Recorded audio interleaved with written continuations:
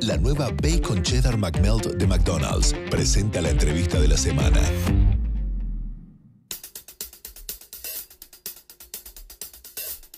Señoras y señores, estamos con el invitado del día de la fecha. Es recontra talentoso.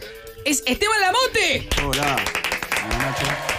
Y eh, está ligado al ámbito del box, estaba diciendo. Sí, señor, estoy ligado a la Dice que lo quiere cagar a piñas a Robert, de hecho. Tiene tatuado un. ¿Quién es? Manny Pacquiao, Mirá. Bueno, ah. Oh. mi boxeador favorito. Y me decías en el corte que lo que más hiciste fue. eh, o sea, lo más lejos que llegaste en boxeo son tres rounds de dos minutos. Y es muy exigente. Sí, es muy para, ah, para pelear tres rounds de dos minutos tenés que entrenar 10 meses por lo menos. ¿Sí? O sea, para pelear los, Sí, los sí, seis, los llegar, seis para llegar. tirando y aguantando y re- eso. Pero si los dos. Sí. ¿Tomás mate? Sí, me tomo mate. Bueno. Si los dos Sí. eh, están. No están entrenados para esa situación eh, Es durante peligroso. 10 meses. eh, se pueden tirar un par de manos y está todo bien o no. Y si están a la par, Claro. Es como jugar al fútbol siendo todos claro, señores sí, de 60. claro. Sí, es lo mismo. Sí, sí, Está bien. con la misma. Perfecto, perfecto. ¿Cuáles son las características de los contrincantes? Las características. Hay un, hay un noqueador, hay uno que Y Roberto fuerte. sería noqueador. Roberto, Roberto, sería noqueador. Él de- dice que tiene tres manos para. Tres bombas. Tres bombas. Él dice que Roberto, tiene tres tres bombas. bombas. A la vez su estado físico es Claro. lamentable. Sí. Más bien decadente. Sí. Tiene que apostar una pelea rápida, así, Sí. 50 segundos, Sí. atacarlo con todo. Claro. Sí. Viste que Tyson cuando pasaba el tercer round empezaba Se A se mal. frustraba, claro.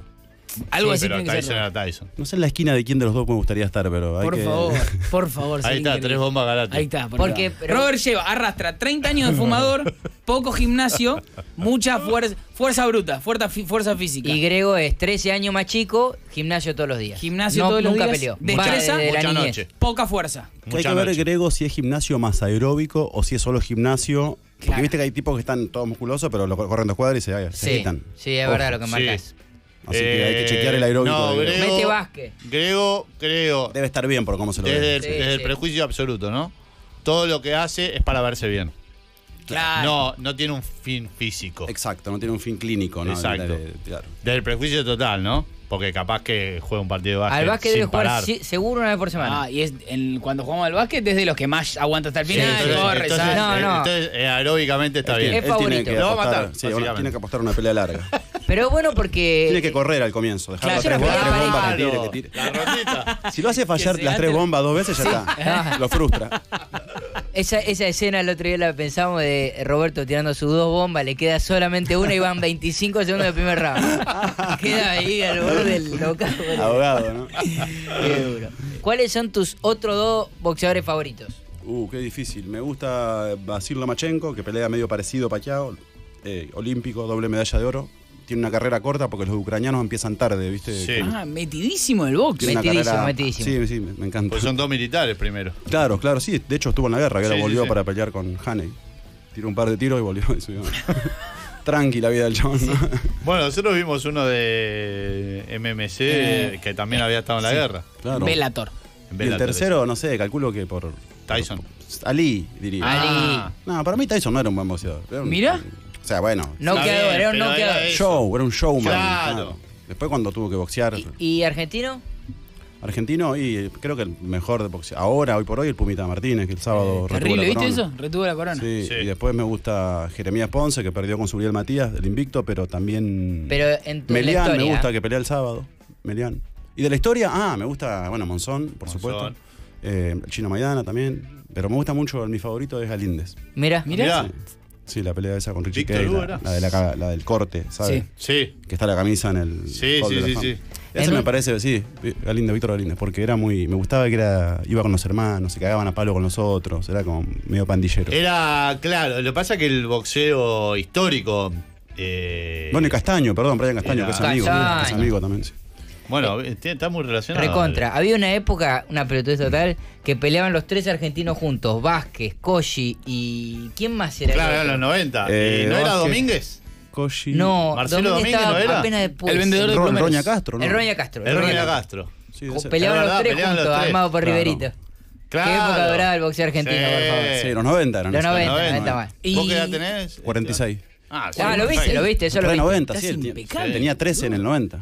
Claro. Mirá. Sí, el- está muy ¿Tu bien. primer mundial es? eh, el primero que me acuerdo, el 86, tenía acordás? 9. Y sí, 9 años tenía. Mi hijo el año, este, el año pasado tenía 9 también cuando Ah, Argentina se mirá. Mirá. Se me pone la piel de gallina. Repetiste la historia. Sí, sí, sí. Che, qué bien llevas tu edad, ¿eh? Es un poquito... Sí, pero estoy hecho mierda por dentro. O sea, poco injusto, ¿no? O sea, están todos los 46 años- años adentro. Eh, fútbol, ¿te gusta? Vos hiciste de fútbol, el 5 de talleres. pero es buenísima esa película. Es buena esa peli de, de Algarza. Ese director es re bueno. Eh, no, pero viste que no hay muchos partidos en el 5 de talleres. No se ve mucho. Claro. Es más el vestuario, toda esa cosa. Pero soy, no, soy- jugaba ma- muy mal, muy mal al fútbol. ¿Sí? Sí, muy mal. Me elegían último, anteúltimo. Uh, qué pero tremendo es. jugaba al tenis cuando era chiquito. Después no, porque ya tenés que tener plata para ser tenista cuando tenés Claro. más de 13. Sí, sí. y- Ah, pero ¿no llegaste a ser federado? Sí, sí, fe- me ¿Sí? federé, jugaba bien, ¿eh? Ah. Andaba bien, sí, sí. Y también a los 13 empezaban los asaltos, ¿viste? Claro, Mis amigos los ¿es fines de semana. o el y deporte? sí, y te tenés que viajar. O sea, iba, yo soy de Florentino Medino, que es una localidad de la provincia Sí. de Buenos Aires, iba a Peguajó, iba a General Villegas, no sé, por todos lados. Este, pero no, el fútbol muy amargo. ¿Y fuiste mozo también? Mozo, todo, sí, toda la vida casi. porque mi mamá tenía un restaurante en un pueblo y también trabajé 11 años acá en Puerto Madero, en la, en época de... Bueno, agarré el 1 a 1 y después del 96, 97 hasta el 2005 trabajé ahí. Nueve años. ¿En Después, dónde? La caballeriza se llamaba. Era una, Sí. una parrilla, sí. ¿Hasta el 2005? Una parrilla bien menemista, así, tipo. Sí, sí, Sí. recontra menemista. Ahí recontra menemista. en realidad el, el origen de la caballeriza es en Dardo Rocha, en Exacto, San sí, señor. Allá al lado del hipódromo. Exactamente. Sí, después había otra en Recoleta y otra en Parque Leloar, creo. Exacto. Soy Así que trabajabas ahí. Sí. Gastronómico. Sí, bueno, mi familia, mi mamá tenía un restaurante en mi casa y acá trabajé también después en Palermo, en uno que se llamaba Olsen, Mirá. que casualmente el dueño era el de Masterchef, Mira, ¿Cuál? Martitei. Martitegui. Mirá. Sí, O sea, fue tu chef, por decirlo de alguna manera. me hizo la entrevista de trabajo, no, era más el dueño, ¿no? ¿Y lo no, cruzaste después ahora, ponele? No se debe acordar el de mí, no creo. Yo trabajé dos meses, ese restaurante, no me gustaba. ¿Dos meses? No se acuerdan en pedo. No se acuerdan ni en pedo. No. ¿Y eras bueno como mozo? Sí, muy bueno. Sí. Es clave, ¿eh? Un buen mozo. Sí, porque, no sé, me gustaba, siempre me gustó el trabajo ese, ¿no? Lo hacía, y para estudiar teatro y esas cosas viene bárbaro porque podés... ¿Desde chico estudiaste teatro? No, a los 23 empecé. Mirá. No, no, me gustaba más. De hecho, no, no consumía mucho arte tampoco cuando era chico. Después me conocí un amigo acá, en- justamente ahí en Puerto Madero, un muchacho que era guionista, y él me empezó a dar las películas de los Cohen, de, no sé, de Casa, de, de Fassbinder, me empezó a dar películas que yo no había visto nunca. Y también, bueno, ahí entré a estudiar teatro, y a- y a- pero me- medio que gracias a este muchacho. O sea, siempre en tu cabeza estuvo el teatro dando vueltas o se fue dando. No, no, para nada. De hecho, no, en, mi, en mi pueblo había un grupito de teatro, Sí. cuando chiquito, pero no me gustaba. No, no, todo lo contrario, te diría. O sea, Claro. Ah. Me parecían medio boludos los que hacían teatro. en ese momento, pero porque no, que, no sé, me- no, no entendía lo que claro. no, no lo ¿Estabas en, en qué estabas? En- Mientras tanto vos. Yo jugaba al tenis, estaba en la Claro. escuela, qué sé yo, no, no, no entendía mucho. Era, era distinto igual, ¿no es cierto? Qué sé yo. Sí. Era otra época. Eh, y después terminé actuando con algunos de esos chicos que actuaban ahí en, el, en, ese, en ese grupo de teatro. Teatro Alas se llamaba. Ah, terminaste Ah. actuando con. Pero después de más de grande, sí, sí, con una chica que ahí acá en un programa de polka. Mirá, ahí, pero pero no, no me interesaba mucho. ¿Y ella Tampoco te- había discos en mi casa, no había mucho arte en mi casa, ni libros. Después empecé de grande. ¿cuánta gente vive en Ameguino? Ocho, ocho, sí, entre 8.000 y 10.000 O ahora. sea, Yo tengo un amigo increíblemente conocían. que es de Ameguino. no. ¿Sí? Eliseche de apellido. Sí, Elisechi, sí, son los Elisechi, son, bueno, el vasco ¿Eliseche? Elisechi. bueno, Eliseche. son varios hermanos. Sí, sí, el Uno es vasco. periodista. Sí. ¿No es el vive de- acá en Andrés. Atlético de Madrid? Hincha Andrés de- con ¿no quien es jugamos al Martín? fútbol. No, no, ese es Ah. otro, ese come Franco. es ¿No es hincha Martín de Eliseche? Sarmiento de Ameguino. El que yo conozco es Andrés. ¿Es hincha Mirá. de Sarmiento de Ameguino? Sí, no, bueno, Sarmiento de Junín, él le representa la zona, creo. Claro, pero en Ameguino también está Sarmiento. Ah, Sarmi- ahí en Sarmiento no sabía. El clásico Sarmiento Atlético que tiene la camiseta naranja. Y Mirá. Villega también hay por ahí. General, Villegas, General mirá. Villegas, donde es Manuel Puig y Antonio Carrizo. ¿Y a qué edad te viniste para acá? A los 17. No, primero a los 15. Con mi mamá vine un año, hice un año del secundario ahí en Frente de Aguas Argentinas. Sí. Y después me volví para allá. Y viví con mi abuela dos años, después me vine de vuelta a los 17. El de Aguas Argentina, pero el de Córdoba. Sí, ahí sobre Córdoba. Claro. Fue porque vine a mitad de año, no, era fue lo único que me aceptaron, porque era difícil entrar a un colegio así tipo en, en mitad de mayo por ahí. Claro. ¿Y después fuiste de los eh, casting, casting, casting? ¿O tu, No. tu historia es la de acompañé a un amigo, me dijeron y. Sí, no, no- no tan espectacular, pero Sí. como que me fui a, una, fui a una clase de teatro, me fue bien, al profesor le gustaba. Después fui a otro profesor, me pasó lo mismo, ese profesor me llamó para hacer una obra. Fui a un casting de una película, quedé. Una- la primera película que hice hace mucho, con Belén Blanco y Cristina Vanegas. Pero después de esa película, bueno, ahí renuncié a la, la parrilla, todo protagonista. Claro. las-. Y las, esas, las chabonas estaban re pegadas ahí, Vanegas y Belén Blanco. Era como. Ahora te dijese, no sé, Mercedes Morán y. Claro, sí, sí. Natalia Oreiro. Y yo salí de un casting, no, no me conocía a nadie. Dejé la parrilla, todo. Dije, chao, muchacho. Nos vemos. Me voy a triunfar. Soy DiCaprio, Y gente. la película estaba buena, se estrenó, pero no la vio nadie. Me fui en el 15 de noviembre, ponele, me fui, filmé y cobré el mínimo, más vale, de actores, cobré Claro. el mínimo estipulado porque no tenía ningún argumento para cobrar más que el mínimo.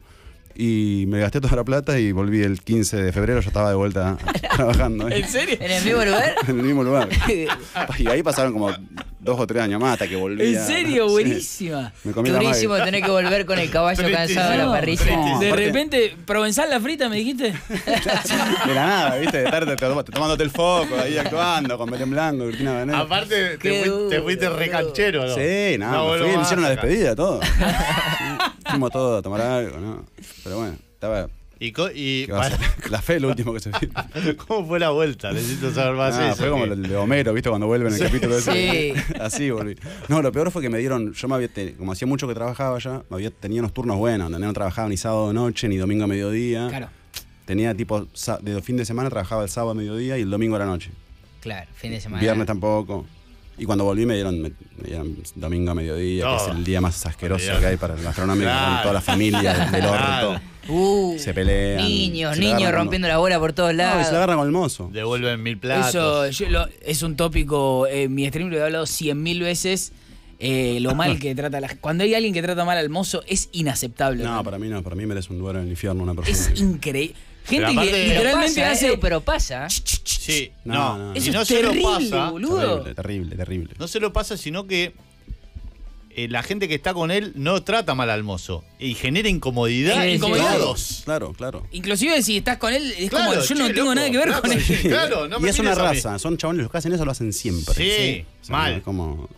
¿Vos ya detectabas más o menos al maltratador previamente? Cuando entraba. Sí, sí, trataba de ser simpático para evitar el, el roce, ¿viste? Pero bueno, ¿Y ante el roce? Porque a veces es inevitable. ¿eh? La Vos verdad parecés que- contestador. bastante poco tuve, ¿sabes? Mira. Solamente mm, Una vez que un tipo... No, más o menos, no, no, no le pegué, pero tenía unas ganas. Porque estaba el chabón comiendo con un... Era un argentino con un colombiano, estaban hablando de... Se veía que eran de guita. Y yo vi que no salió el negocio, ¿entendés? Yo, yo me daba cuenta, yo porque era, Ah. me gustaba atender mesas, me gustaba mirar las mesas. ¿Qué tal? Bueno, como ¿Qué decía? Bilardo, siempre había que hablar con los mozos. Claro, exacto. Bueno, y el chabón me empezó a bardear. Eh, me empezó a decir que esto estaba frío, que lo otro. Se pudrió entre ellos y se la agarró conmigo. Claro. Y fue y me dijo que quería que le llame a la, Encargada. a la encargada que me quería hacer echar. Pero me lo dijo aparte. Llamé a Ah. la encargada, te iba a hacer echar. Así de una. Le dije, dale, yo la llamo y te espero acá. Le dije, cuando vos termines de hablar con ella, te agarro y te, re, que te contracago trompado. y, y- y terminó ahí. Esa fue la única vez que. Y no fue- no fue aparte, la- yo dije, este hijo de puta, es un, un cheto de mierda que me quiere hacer echar del Claro. laburo, boludo. Claro, Porque- Se le complicó con el colombiano. Sí, sí. Se le complicó con el colombiano, amigo, no sé, habla con tu, agarrate con tu hermano, con tu amigo, Eh, tu novio. y en esa de mirar mesas, eh, situación de cita y pelea en la cita, ¿se veía? Sí, sí, sí, pero lo peor, lo peor de todo y la- las cosas más eh, eh, increíbles que vi fue domingos al mediodía familias, Claro. Como gente muy peleada, muy, Oh, muy, muy. Qué feo. Aparte se supone que es el momento de disfrute. Y a- aparte ahí entendés, claro, por eso también tan todo el, el humor argentino durante muchos años, la suegra, que Mm, hincha pelota, claro. el yerno, la nuera. Bueno, hay, al- hay un pasa Existe. un poco eso. El suegro, no sí, sé cómo. sí, tiene como un origen. ¿para, qué, ¿Para qué vienen acá, boludo? A gastar plata. Aparte era caro el lugar, no era barato, ¿entendés? Eh, Es terrible. Pero la frustración interna dentro de esa mesa de estamos haciendo todo el esfuerzo de venir acá y sin embargo no podemos hacer que esto conecte. Tremendo. También es difícil, Es ¿eh? difícil, porque apuestan todo a ese domingo. claro, es una bueno, relación que se no, sostiene de- de Incluso eso. por ahí ni se apuesta, es. Hay que hacerlo. Hay que hacerlo. Ah, hay que hacerlo que hacerlo. terrible, sí. Hay que hacerlo. Como si fuese algo protocolar. Exacto. Es domingo al mediodía, hay que hacerlo. Qué Eh, pocas lo- ganas de formar una familia te daban cuando. Claro, exacto. Eh, ¿Y cuánto te sirvió, no sé si de carácter, de actuación, de lo que sea, eh, la vida de mozo en tu carrera profesional? No sé exactamente, pero supongo que ahí te aprendí un montón de cosas, porque esto que te decía antes, el muchacho que me, que me mostró estas películas, y también me dio libros para leer él, tampoco había leído mucho yo. Y eso me formó, digamos, como actor, o sea, y, y ahí estaba todo el día hablando con él. Me formé más trabajando con, con mis compañeros Sí. de, de estar con ellos. Siento que un montón de cosas de ellas, de, de esas después las llevé a, a algunos personajes, o simplemente una forma de estar en el set, o de, o de compartir el trabajo, trabajar 10 horas de mozo y después estar en un rodaje 10 horas. Claro, es verdad Claro. eso. No, no es tan distinto, claro, y, y conviviendo con gente y teniendo que, que lidiar con, con- con ponerte de acuerdo o no. Ahí, cuando sabes trabajar, cuando, o sea, trabajar en equipo, digamos. Después el cine es súper eso. Y ahí lo, eso lo aprendí en la gastronomía. Bien. Eh, viendo películas, te, te copaste en ese momento viendo películas, Sí. explorando directores y todo ese universo? Sí, flashé, no sé, fui al cine a ver Fargo, ponele. Sí. no sé en qué año fue. Después fui al primer Bafisi que hubo y vi todas las de casa, que las trajeron en Filmico, con copias de Filmico. Y vino eh, Seymour Cassel, el actor, vino Sí. el productor. Vi todas las de Dani Moretti. Son, fue de esa época, después sí, sigo viendo películas, pero de repente descubrí seis directores increíbles el mismo año. Y ese momento, ese primer contacto con la literatura y con el cine es... ¿Y tu contacto eh, desde lo vocacional tiene que ver con el cine? O sea, lo que te gusta ver, hacer es cine como actor. Eh, Ahora estoy haciendo puro teatro Sí. porque me, me cansé un poco de, del nada, del cine y todo eso, pero sí, sí, viene de ahí, de ver películas, me parece todo. No, no, no tengo una formación teatral, después la tuve, pero porque yo fui ahí, ¿no? Claro. ¿En qué, ¿En qué telenovela? Sí, telenovela, porque era más de esa época. Te encontramos sin saber que estamos viendo a Esteban Lamote. O publicidad quizás también. O publicidad. Hice un video de Maná, ¿Cuál? Ya hay que buscarlo. malísimo. eso. ¿Cuál? Pará, Me ¿no? ¿Qué pagaron, me pagaron 1.500 pesos, loco, o sea, era plata en esa Y eran dólares. Sí, Y capaz que era 1500 dólares. Capaz Pero que pará, ¿qué tema? ¿Qué tema? ¿Qué Muy tema? importante, muy importante. Muy, ya. muy bala el video. Mariposa Ojalá traicionera. te, ojalá te me borraras. Claro. Ojalá te me Ojalá borraras. te me borraras. Miro vas. quemo unas fotos. Ah, ¿sí? Después hay unos bolos en el tiempo todo entero. ¿El tiempo todo entero era? No, el tiempo te hace una hora que hice cualquiera. Eh, el Tiempo no para. El tiempo Ah, no para. mirá. Ah. Ahí hice unos bolos, sí, también. Pero tampoco, sí. ¿no? Como la, como la película, ¿no? Murió ahí, no pasó nada después. Publicidades más no metiste. prendió. Publi, publi poco. Hice una. Hice una publicidad una vez que me pusieron un candelabro en la cabeza y me prendieron todas las velas para la toma. Mira. Y tenía que bailar, era como, un, como el infierno, así, un Claro. pollón disfrazado. Y me puse a bailar así, bailé, bailé dos. cuando- Ahí al, tercer, está. al tercer paso se me empezó a caer el agua, el- la, Uh. la cera caliente en la espalda. No, mirá, fíjate cómo ver. el video con el, el salto que pego. A ver. fíjate. Esto es Maná. No, no. ¿Año? Mirá, mirá cómo salgo, ¿eh? ¿Año, Esteban? Mm, 98. Mirá ese saltito, ¿eh? Ah, Ah, escalón. De vuelta, de vuelta, de vuelta, de vuelta. 2010. ¿Eh? 2010. ¿Por qué salté así? ¿El director me lo pidió? O sea, nunca más lo haría así. Si, si lo hubiera visto. Porque era lo mismo venir caminando derecho. ¿eh? Terrible hallazgo, boludo. Igual cuánto colágeno, la puta madre. Eh, Pará, esto no es 2010. Has- ¿Cuándo es? No siempre sé. me pregunto No, si lo que. antes. Mucho antes. creo. Todos esos extras que están ahí eh, buscan una oportunidad. O directamente lo hacen como un- una manera de ganar dinero. Hay, hay de las dos cosas para mí. Hay ya extras que son extras. O sea, vas a ver, si vos prestás atención, son siempre los mismos. Ah, Sí. Yo eh, me Bien. hice la pregunta porque me- soy medio fan de la gente con. Es como el alcanzapelotas en el fútbol. Sí. Que después llega a ser. La eh, foto de Tevez con Riquelme. Y, y con los actores me pasa lo mismo. Digo, este tipo tiene que haber estado. En el bonaerense también hice de extra. Eso. 10 años de carrera de, de Sí, que sí, nunca sí. lo viste, pero estaba. Sí, sí, sí, sí. Y sí, que es que también es medio de eso. Está andada la pesca cuando sos actor. Claro. Esta es la misma. Sí, sí. Sí, es de sí. 2007 la canción, el Mirá. video fue subido en 2010. Mirá, Ah, ahí ahí está. Mierda, tomar, tomar un tiempo, sí. Pasa Claro, mirá, mirá el video ahí, eh, diagonal norte, eso cortado. ¿Qué banda, maná, por favor? Su amplague es espectacular. Sí. La fui a ver al Luna Park. Ah, el, di- el mismo lugar donde van a pelear Robert y Rosselló. Exactamente. Son como los de policía. Voy a volver. Che, y otra pregunta totalmente absurda. ¿En un momento fuiste recolector de basura? Sí, loco. Impresionante eso. Mirá. Eso no existe más, pues está prohibido, porque trabajábamos para un chabón, va, una empresa, que lo que hacía era juntábamos basura de diferentes barrios, barrios chetos o de- directamente de villas a veces. Sí. Y esa basura la analizaban ellos en un lugar. La a veces también nos tocaba a nosotros. Revolvían la basura y Ah. iban clasificando. Estaba bancada por marcas la empresa. Mirá. Entonces, vos, yo te abro la basura vos y sé todo lo que vos consumís. Ah, vení- Eh, era como un algoritmo de época. Claro, exacto. El algoritmo estaba en tu basura. Es que ahí está todo. Mirá. Mirá. Todo lo que consumís, cuántas veces cogiste, si usaste forros, si Claro, no ¿En sé qué- qué. Si sos alcohólico. Si sos alcohólico, claro. Año 96 fue eso, Ah, y 97. mirá, Sí, Milán. 97. Mirá, boludo, terrible. Terrible, sí, terrible. Igual estaba bueno el laburo, porque entraba a las 7 de la tarde, lo- era en una furgoneta, en una F, F-150, tipo la mudancera Claro. esa. No era eh, como Maldiva. Sí, era claro. una cosa más. Y así recorrí Maldiva, todo. se te A ver, cayeron y aparte-. Maldiva, ¿no? Segua. ¿Y Cliva sigue estando? No, y ahí recorrí todo sí. Capital y todo el conurbano. Ahí conocí todo, todo, todo. Tiene algo de espía también, incluso, robarse. Re. Sí. Que te revisen la basura, casi como que te revisen, no sé, que te bajen los pantalones. Claro. Terri- eh, ¿Estuviste en Tiempo de Valientes? Sí. ¿En qué parte? Abro una puerta y digo, no sé, digo un texto, no me acuerdo cuál ¿Con era. quién? Está Peretti en la escena. Y después viene caminando Martina Gemián. Eh, y yo, yo vengo caminando atrás de él. Al final, cuando van ahí a. ¿A la hacer- estación de policía? Claro, y en la, y en la, en la comisaría tengo la escena yo. Claro. En la comisaría a la noche, cuando Peretti Sí. entra Exacto, a exacto. Ahí yo- rescatar. Yo, entro atrás y le digo, se como que él se me metió, se me mete ahí a hablar con no sé quién. Mirá, no me acordaba. Un Sí. policía. Eh, Tiempo de valientes. Tiempo la, de- de- la vimos con Peretti acá. Claro, ¿te Peretti acordás? Con Luis Luque. Reaccionamos acá. Película. Buena Muy película. amo. Buenísima. A mí me encantó. ¿Tuviste cruce con Cifrán ahí? Eh, ahí en la Porque película. era el director, capaz. Sí, sí, lo cursé y re buena onda. Después vino a ver el estudiante cuando estrenamos en el Bafisi y ahí lo conocí. Yo soy re fan de él. Y bueno, no vi la, no, la que hizo ahora. la- Misántropo. Esa no la vi todavía, pero sí. Eh, ¿Cuál Yo es vi tu- 40 minutos. si- Se si cortó. la- organizamos con la gente, de- con lo que ven el programa, a- para ver todo junto Misántropo del cine y se cortó la luz a los 20 minutos. Real, eh. malísimo, malísimo. ¿Y qué A los hicieron? 40 Nada. minutos. Fuimos, quedé No en fuimos. Después yo la completé, nunca la completó. Nunca la completó. Yo la vi tres veces. Una vez fui a proyectar al estudiante a una escuela eh, allá en mi pueblo y bueno, toda la película la pasaron, no, había bastante gente, en un aula. O sea, bastante gente, 60 personas. Y se cortó la película al final y se murió el disco rígido. No, no, y tuve que entrar y contar, contar todo el ¿Contar? final. Claro, ¡No! sí.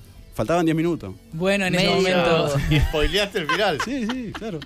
Porque no había forma de volver. No había ninguna manera. Era, no, no. ¿Viste. Ciudadano Ilustre?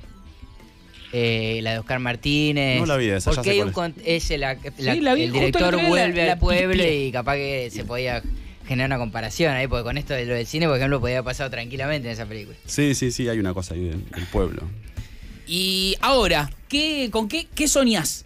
¿Qué decís? Yo quiero hacer esto. Dirigir una película. Mirá qué bueno. Sí, me gustaría dirigir. ¿Con qué actores?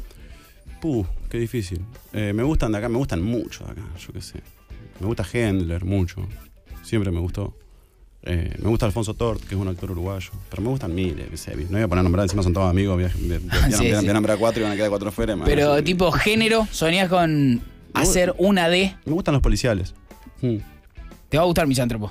La última cifra. La voy a ver, re tengo ganas de verla. La quiero ver. Queda todavía, creo, en el Lorca. el Sí, en algún lado Sí, sí, sí. Pero eso sería mi sueño. Y teatro, que voy a hacer ahora una obra con que dirige Romina Paula, con Pilar Gamboa y Biliardi y Susana Pampini. y otra con Vero Ginás y Héctor Díaz, que dirige Laurita Paredes, que es la, Sí. la La chica de. Trenkelauken, la protagonista de Trenkelauken. Eh, así que ese- eso también era un sueño, hacer teatro, y lo estoy haciendo. Estoy, re Co- quema- estoy pero contento. ¿Por qué? ¿Qué no, porque es ensayo, ¿viste? Justo estoy ensayando las dos obras, todavía no las estrené. Como el peor momento, cuando la ansiedad, no sé, bueno. Ensayar una obra es medio enloquecedor también. ¿Y, y qué buscas en el teatro? que Porque dijiste me, me quemé un poco de, del cine o de la tele. ¿Qué buscas en el teatro que no está en...? Ahora, Sí. siempre cosas distintas. Ahora entender qué es lo que me gusta, o sea, qué tengo ganas de contar como actor, yo, y, y por qué me gusta hacer eso. Porque también trabajé muchos años, hice muchas telenovelas y te automatizás en un momento, ¿viste? Como, Claro. Como trabajás todos los días y estás actuando de las 8 de la mañana hasta las 6 de la tarde. eh, bueno, sí. No sé, en un momento se produce un desgaste. Es Como yo te digo, bueno, vas a hacer radio de 8, pero no de 8 a 10 o de 8 a Claro. De 8 a 8. Y durante mucho tiempo. Y durante años, pero bueno, era un momento también que necesitaba. Había tenido un hijo, me tenía que comprar un departamento, todo eso. ¿Cómo es convivir con una esposa actriz? Espectacular. ¿Se critican los trabajos y eso? Sí, sí, sí, sí. ¿Con crueldad o...? Siempre tuve esposas actrices, porque la mamá de mi hijo es actriz, mi novia ahora es actriz, y antes de la mamá de mi hijo, ah, también andaba con una actriz. Sí, Bueno, ¿con, Ah. ¿con quién mandar ese actor? No, no, no, no, no, No, una no. arquitecta. Eh, pero sí, Medio no, está bueno. igual, Esteban. ¿eh? Yo tuve. Sí.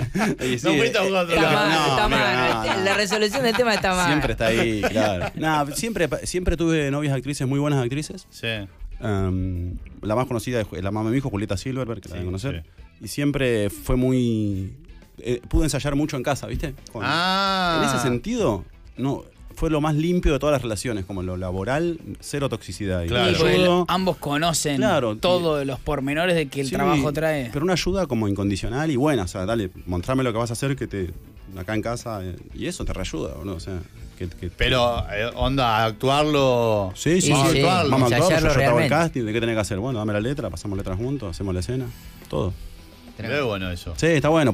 También digo, dos actores pueden ser un infierno, puede haber envidia, celo, el, el marido, la mujer trabaja más que el marido, el marido justo Sí. agarró dos películas y la mujer está con el nene en la casa, Sí. y- o al revés, y se arma una, bueno, como todo, ¿no? No, y encima. Como todo eh, freelance. Que, claro, que encima eh, la vida actoral tiene mucho eso, ¿no? Por ahí Tres meses cuatro a meses full. metidos en la sí, casa. o ahora Katy, mi novia, que, que es actriz y bueno, es poeta, un montón de cosas, dirige teatro y todo, pero también dirige castings, entonces como... Mirá. Ahí también me gusta opinar. Como-. O sea, eh, se mira unos castings y vos al lado decís, Sí, no sé, este actor sí, este me gusta, este no, o sea, como- Mete Ah. ficha, mete ficha. es bueno dirigir un casting. Sí. Es básicamente decidir sobre personas. Es hermoso, sí, es un laburo re que no, que no está tan acá en Argentina. Bueno, ahora ya agregaron los Cóndor el premio a mejor director de casting. Ah, No, En otros lugares es como. es un recursos humanos del. Y es Sí, de los actores. Es el karma al equipo, no sé, como el que te muestra opciones. Poné, da, tráeme 3, 4, 3 laterales, dos mediocampistas, Claro. un delantero. No me Es un alcanza. fútbol manager de, Dame más de- opciones. del actor.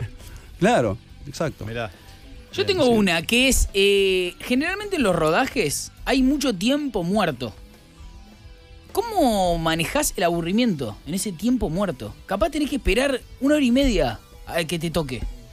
No, voy en una ya. Ya aprendí. O sea, la primera vez que te das cuenta que actuar es esperar. Muchos, muchos dejan de actuar, de hecho. ¿eh? Grandes, Ah, grandes por actores. Es un embole igual, Solo es un por eso. embole, ¿o ¿no? porque Es un embole descomunal. A mí me pasa eh, en la- el tópico publicidades, es un embole pero espectacular de ocho horas. No se puede creer. Ocho, si tenés suerte. O sea, Pero 12. en, en algo de una película, capaz están todos en una de construir esa historia.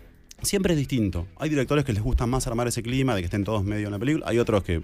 Y después los actores son todos, viste, medio. No, no se sabe. Cuando es medio municipal, es realmente aburrido por momentos. Es realmente aburrido. Sí. Aparte, hay actores que necesitan concentrarse mucho antes de la escena, otros que necesitan estar pelotudeando para hacer la escena, Claro. porque ese actor Porque ya se la saben y. Yo depende de la película, porque a veces antes de la toma estás charlando con un técnico, acción y entras y, te- y lo que necesitas es eso justamente, no estar pendiente Claro. de la escena Claro. porque la escena- Entonces vas- va, va- va cambiando, pero la clave es dosificar la energía y porque cuando estás al pedo podés, hacer, podés ponerte hablar o hablar mucho. A mí me gusta conversar, como verán.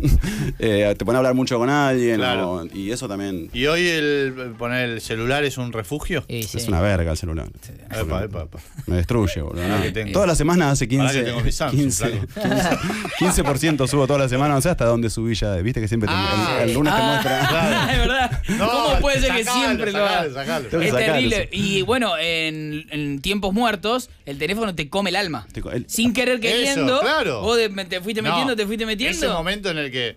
Twitter, TikTok. No, no, WhatsApp, no, no. Y eso, y eso que no tengo eh, TikTok. Instagram. eh, Ese no. ping-pong, tic, tic, tic, tic. El Pero momento, aparte sí. te sentís vos que estás haciéndote, sos consciente. Sí, es como estar drogándote saber, saber que te hace mal, pero decir, bueno, no, no puedo, me voy a seguir drogando igual. Eso No. es. Es terrible. Eh, la frase de actuar es esperar es tremendo. ¿eh? Actores de esperar, nada más. Y mantenerte ¿Podría hacerse más rápido? ¿Crees que podría hacerse más rápido? Hay una... Hay dos cosas. Primero, pienso que se puede hacer más rápido, que, que muchas veces pelotudean. Y la otra es que po- podría hacerse más amorosamente también. Están todos Oh, medio te estresados, ¿viste? banco, ¿Por qué estás Totalmente. co- estresado? Si para llevar esto de acá hasta allá lo podés llevar y apoyarlo así, ¿por qué lo llevas corriendo? y lo Sí, sí, tipo- Todos se rodajes. mal. Hay algo bien visto en decir, estoy pasado. Estoy Ah, sobrepasado. Te banco bien. a muerte. Ey, pará, pará, metámonos Medio- ahí. Sí, Metámonos sí, sí, ahí. Métete, Inclusive el clima militar. Tiene que haber algo de jerárquico. No, eh, no Te hay- dije, Esteban, Sí, por no hay- favor, Era- ponele el micrófono. No hay No, nada más piramidal que el cine. Eso, boludo. Te dije, por favor, te dije, por Necesito favor. entender cómo viene ahí el, el tema apuros y jerarquías. El, el- el más estresado es el director. El- no, el asistente, el tercero de dirección. El tercero de dirección es uno que en general es meritorio, o sea, ni siquiera le pagan y es el que tiene que dar la mala noticia. ¿Entendés? Bien. Uh, Claro. Todo lo peor. Tiene que hacer todo el trabajo o sea, sucio. pará. Es, es, co- es, Es, es sala de piramidal. espera del hospital. Exacto. eh, Entra, eh, no el médico que operó, sino un. sí, sí. es el que está en la guardia, Ese es- en la primera barrera, Ah, el que recibe y todo cuando lo peor. viene, sabes que te la va a poner Ah, hasta. Sí, o, o el que le da malas noticias a actores que sabes que no van a reaccionar bien. Oh. Que te dicen, che, mañana no tenés que venir a las 5 de la tarde, tenés que venir a las 7 de la mañana. No, no, no, yo sí soy Darín, te digo, Imagínate. chupame bien la pija. Pero a Darín no se lo dice. No, bueno, claro, es verdad, a Darín no le dicen eso. No, porque lo, cita- porque lo A, citan bien. a- a Darín le dicen, escúchame, ¿a quién traemos a las 7 para que vos puedas sí. venir Bueno, a las algo 11 y media? que te mata. Me citaste a las 11. No podemos hacer la primera a las 3 de la tarde. No podés. Estoy de las 11 acá. No podés no calcular eso. Flaco. Mínimamente pegale a cuando empezamos, Sí, no sí. te pido en el medio. Está el por las dudas. O sea, ese asistente primero es el que se cubre Sí. y si puede, te tiene ahí todo el Claro. día. O sea, su, su logro, su jefe lo va a ver bien a él con Claro. buenos ojos. Pero Si nunca ve- pasó que el director esté. ¿Dónde está la mote, boludo? ¿Dónde No. está la mote? Y No. no, estabas. Eh, ¿O sí? ¿Alguna- alguna vez, pero más en la tele. llegaba temprano. Ah, la tele es otra lógica. Ah, boludo. pero la tele poner en el cine hace tres escenas por día, cuatro en la tele en piso hace 18. claro. Entonces después cuando van a criticar a un actor de televisión y no Sí. saben eso. Lleva 11 horas. No, no chequeás. Si actúas mal, queda igual la escena, ¿no? Es Claro, que- claro. o sea, Oh, sí. incluso a veces queda con, un- con errores de continuidad. Pero bueno, ahora ya no hay casi telenovelas de esas salvajes, de Sí, sí, 100 sí. capítulos. Claro. Y Polk, Universo Polk. No, ahí entraba y decía, yo la primera vez que entré a un estudio de televisión me quedé más fascinado con los actores que cuando he visto grandes señores actores en el cine, en el sentido de que decía, lo veía a Luciano Castro, que sería el coso. Un apuntador le da un libro así. Ta, ta, ta, ta. Leía y mandaba, leía y mandaba. Sí, Imposible, es imposible hacerlo. O sea, solo tenés que- es como un músculo que se entrena si haces tiras, si no después se te ¿Con quién estuviste en una escena que dijiste, mirá, boludo, ¿dónde estoy? Muchas veces, boludo, muchas veces. Todavía me pasa. Hice una película ¿Sí? con Bertuccelli antes de. Ah. Y una de Sorín, una de. Se llama El cuaderno de Tommy. Pero con todo. Tuve muchas, mucha suerte. eh, porque actué con toda gente que admiro mucho y que incluso admiraba antes de, de ser actor. Pero te digo, te digo Bertuccelli para decirte. Creo que cumplí casi todos los sueños que tenía de. de- no eran sueños tampoco, digo, pero muchas veces me pasó eso que decís. Por suerte, como decís, mirá, Sí. estoy, boludo, mirá, como- ¿Y te gustaría dirigir una película porque justamente te gustaría manejar esa nave? Sí, manejar esa nave. Igual he hecho películas como El 5 de taller y esa que la hacíamos como estamos charlando acá. Bueno, vamos a hacer una escena, pum, nadie esperaba, todo era fluido y perfecto. También pasa eso en el cine, ocurre. Sí, me gustaría, sí. Tengo un guion hace mucho que ahí estoy dando vueltas y buscando plata para financiarlo. Y, sí, sí, me gusta el espectáculo. Me gustaría hacer una película que la gente la, ve- la vea, que se divierta. No, no, no, eso, no sé. Es un policial el guion que tengo, medio clásico, así. ¿Qué tema hacer el tercero en dirección, no? El Eh, asistente. quería volver a eso un segundo, un segundo volver a eso. El, bueno, va el tercero y le dice al actor principal de la película, che, no es a las 7 de la tarde, es a las 7 de la mañana que tenés. ¿Cuál es la reacción del actor generalmente ante esa situación? No, lo putea, boludo. Pidia. putea. No, directa, putea O sea, directa. No puede ser, si a mí me dicho, o sea, empieza una, una guerra. Una guerra que el chabón tiene que tratar de que no le llegue. Es, re militar eso. Claro. Que no le llegue el quilombo. A mí no me interesa solucionar, no me quiero enterar. Perfecto. Claro. ¿Está claro? Bien. Vos que sos el tercero, no me quiero enterar Sí. eh, si hubo un problema. Me quiero venir mañana. Yo digo que tiene que estar eh, Luquita a las 7 que está a las Escuchame, 7. Esteban, me cagó a piña. Me cagó a piña la bote, ¿qué hago? Es increíble. Porque el actor te Me dice, cachetazo vos sos el, el tercero, vení y que a las decime, 7 no viene, me cagó a piña. vení y decime mañana a las 7 en vez de a las 11. Mañana no es a las 7, Luqui, es a las 7 de la mañana, no es de la tarde. No, no, yo voy a venir a las 5 de la tarde. Y bueno, pero pensá en tus compañeros, Lucas. Pero Eso te hacen mucho. Esa es terrible. No sos solamente vos acá, son hay un montón de gente. Qué Mirá, bueno que sos no, el tercero. ¿Sabés qué te dicen? Eh, usted para Te tercero. dicen una que te destruyen, que mirá los, mirá los eléctricos, que están Oh, llegando no. ahora antes que vos con los Ah, camiones. es trampa eso, Esteban, es trampa. Bueno, que pero el que se trabajo de ocupen los ellos. eléctricos, claro, es verdad. boludo. Pero bueno, en ese momento te tocan. Si te agarran Sí. desprevenido y se van dos horas después que vos, desarman todo y mañana entran dos horas más temprano que vos. Y bueno, hubieran estudiado actuación. claro. que vayan a lo de Nora que boludo. Yo me vine de amiguino con el bolsito, flaco, para que vos me a las 7 de la mañana. Ay, qué bárbaro de ser tercero en asistente. No, Ahora no, voy a pensar en ello. Sí, sí, sí, sí. Y ahí supongo que hay algo clave que es que el director comunique que vale la pena todo lo que estamos atravesando para que quede algo. Sí, me parece que hay como eso, como, che, mirá, está quedando buenísima la peli, es una bomba, después la película una garcha, en la un último esfuerzo, loco, o sea, estamos todos acá, o sea, dándolo todo, dale, negro, metele, y sí, obvio, que te vas a quedar como una ortiva, ¿entendés? Y, de, de las películas que hiciste y sí que hiciste eh, no sin nombres obviamente pero hubo alguna que vos dijiste che esto es una garcha Esa pregunta espectacular. es una Eh, garcha Pero ya estoy arriba. pero ya No me estoy- queda ya otra, me queda otra. No voy a decir los nombres. No, no, no. Pero hubo dos. Una que la estaba filmando decía, esto es una garcha. la concha de la lora. Decía, puta, ¿por qué estoy haciendo esta película? pero No. te arrepentías de no haberla la- leído antes agarrate por la guita Sí, todo eh, mal, no sé, me sentía mal, miserable conmigo mismo, porque había agarrado ese trabajo. Odiaba a la persona encargada de, de llevar todo a cabo. No voy a decir, no voy a decir el No, sexo no, porque digas. Eh, como, y después cuando vi la película, me gustó, loco. Ah, y, ¿sí? y Mirá. entendí, y dije, wow, mirá, qué, qué poco me entregué. Y, que, y al final estaba buena la película. Y después me pasó al revés con otra que... Que pensaba que estaba buena. Sí, sí. Acá tenemos el padrino. Sí, sí. Y las dos veces fue por, por prejuicioso. Vamos a sentarnos a ver esto, que es un golazo. No sabía lo que era. ¿Y las Y- películas las ves, perdón, Dale. las ves solo? ¿Las tuyas? ¿Por primera vez? A veces el director te invita a verla a una isla, a veces la ves, te, te la manda para que la vea, y a veces, muchas veces, me ha pasado de verla directamente en el estreno, y eso es tremendo porque te da un cagazo. ¿Y aparte- vergüenza? Sí, boludo, aparte en la pantalla grande, si en una le erraste así un poquito. Pasa es- que la gente no sé si está tan pendiente No, a veces no se da cuenta la gente, Sí. no, pero uno, pero uno sufre. Mi última pregunta es, justamente, termina, terminas el rodaje, todos se van todos contentos, a- ves la película y no te gusta a vos. ¿Cuál es tu reacción ante esa situación? ¿Perdí el tiempo?